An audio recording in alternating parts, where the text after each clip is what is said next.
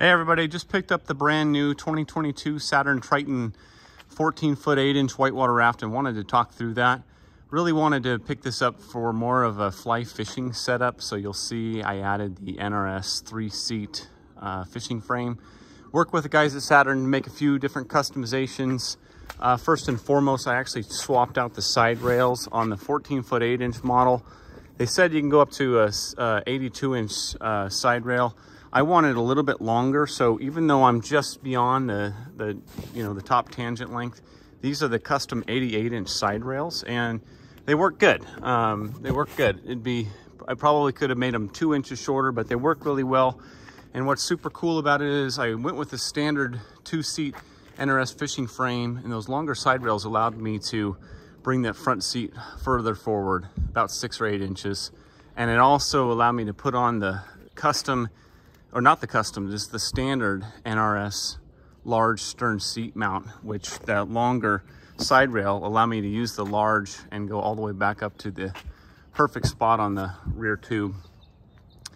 A couple customizations that I made, I did add the NRS anchor system to it. So uh, just connects off of that rear stern uh, crossbar and then connects to the crossbar behind the rower seat the pulley is connected back here off of this low pro and then the cleats up here connected to the foot bar. So uh, the other thing I did is I added the standard large NRS uh, U-shaped crossbar so you can see that. Or sorry, U-shaped thigh bar.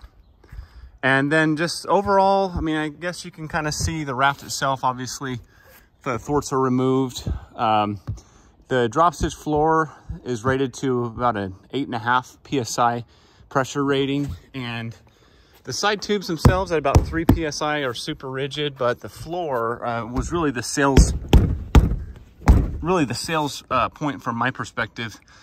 Allowed me to go ahead and in the fly fishing setup that we're envisioning, I don't have to have the casting platforms because that floor is just so rigid. So I think that's it. If anybody has any questions. Oh, lastly, on the oars, I went with the Cataract SGG shaft oars and the standard molded oar sleeves, and I like the oar rights, so we installed those on top of just the Superstin oar locks, and we did use the pins, uh, springs setup. I think that covers everything. I used the seven inch Cataract mag Magnum blades, and uh, yeah, that's it.